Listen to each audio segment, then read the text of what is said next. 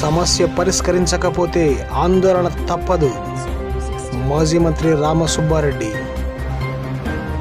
YCP నేతలు దౌర్జన్యాలు మానుకోవాలని హితవు పలికిన రామసుబ్బారెడ్డి.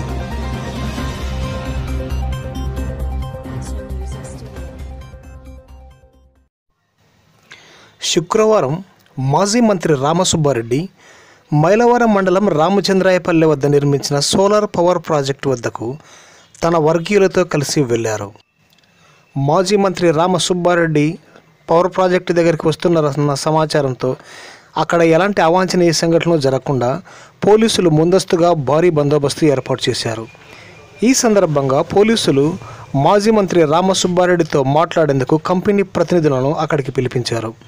ఆ తర్వాత ఇక్కడ ఉద్యోగం చేసే వాళ్ళను తొలగించడం సరికాదని భూములు కోల్పోయిన వారికి పరిహారం చెల్లించాలని లేని పక్షంలో పెద్ద ఎత్తున ఆందోళన చేయక తప్పదని హెచ్చరించారు. అనంతరం అక్కడి భూ నిర్వాసితులు ఉద్యోగులు కోల్పోయిన వారితో కంపెనీ ప్రతినిధులకు వినతిపత్రం అందజేశారు. అనంతరం రామసుబ్బారెడ్డి మీడియాతో మాట్లాడుతూ దాదాపు అరవై తొమ్మిది మంది ల్యాబ్లో కానీ సెక్యూరిటీ కానీ పనిచేస్తున్నారు. కొంతమందిని మా గవర్నమెంట్ వచ్చిందని చెప్పి స్థానికంగా ఉన్న నాయకులు దౌర్జన్యం చేసి మహీంద్రా వాళ్ళ కంపెనీ వాళ్ళు వచ్చి నా దగ్గర కూడా వచ్చారు. సార్ ఇక్కడ తీస్తున్నారు వీళ్ళంతా కొంతమంది మమ్మల్ని తీసేసినారని వస్తే మహీంద్ర మహీంద్రా వాళ్ళని అడిగితే వాళ్ళు కింద స్థానికంగా నాయకులు చాలా దౌర్జన్యం చేస్తున్నారు. మాకు ఒత్తిడి అయిపోయింది. మేము వాళ్ళకి చెప్పినాం.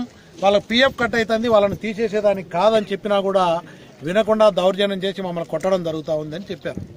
ఇది కరెక్ట్ కాదు తీయొద్దని చెప్పి నేను కూడా గట్టిగా చెప్పినా. ఈరోజు అరవై తొమ్మిదిలో సగం మంది ఎన్నికల ముందు వైఎస్ఆర్ పార్టీకి పనిచేసిన వాళ్ళే. గత ప్రభుత్వంలో ఎవరిని తొలగేయలేదే వైఎస్ఆర్ పార్టీకి పనిచేసినారు. మీరు తీసేయమని ఎవరికి చెప్పలేదు తీసేయలేదు. ఈరోజు వైఎస్ఆర్ గవర్నమెంట్ వచ్చిందని చెప్పి మొత్తం ఇక్కడ ఎవరు ఉండకూడదు. మేం చెప్పిన వాళ్ళే ఉండాలా?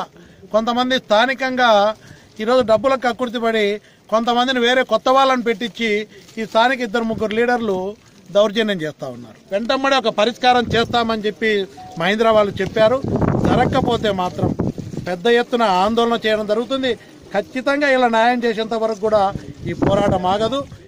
లేటెస్ట్ న్యూస్ కొరకు వైఎస్ఆర్ కడప న్యూస్ను సబ్స్క్రైబ్ చేయండి. ఆ తర్వాత ప్రక్కనే కనిపించే బెల్ ఐకాన్పై ట్యాప్ చేయండి.